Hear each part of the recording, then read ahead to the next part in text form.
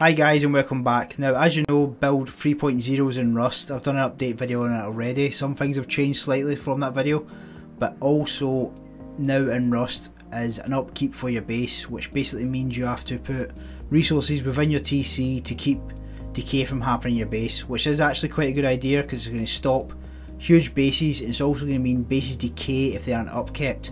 So if someone leaves a server you don't have to raid it as much to get into it if you leave it for a little while. It's also going to stop huge bases from tryhards. So basically, doors are going to be easy to get through because no people aren't going to have as many doors, and honeycomb isn't going to be so so much a thing if you like, because people may not want to have the upkeep.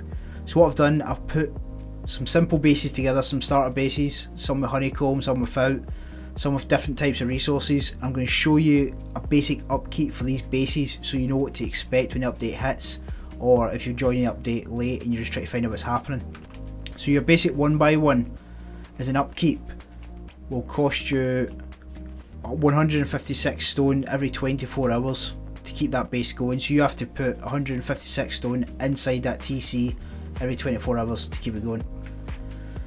Now symbol 2, 2 by 2 as you can see I haven't put any doors inside here so it's just a shell 455 stone every 24 hours. Now this is a bit more, this is all honeycombed, put roof pieces in and floor pieces, stairs, a bit more of your traditional base on a server.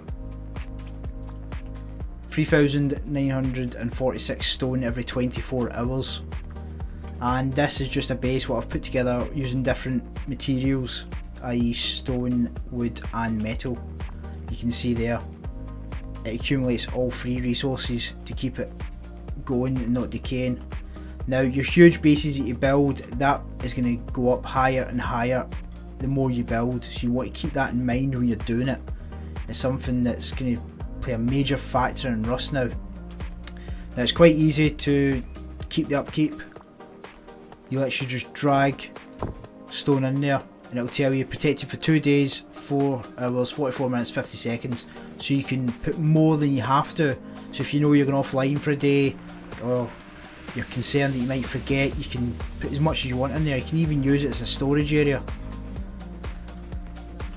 So bear this in mind when you're making your bases. It's something that is coming in now that's going to change the way you build. So don't go big fast. Solo players, it's going to hurt you a little bit because you can't have a huge base in a populated server because nodes are harder to find.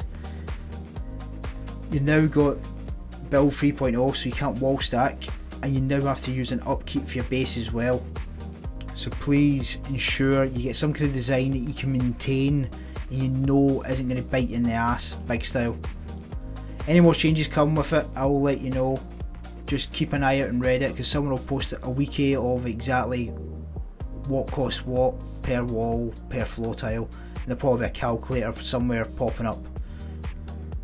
Next time I will try and get a base out for you using this meta. I'm not going to rush one out. A lot of people have. I don't see the point at the minute. I want to see how it actually pans out before I put something out. I've got a couple ideas already, but as I say, I want to make sure that it's something good rather than just something that's been rushed.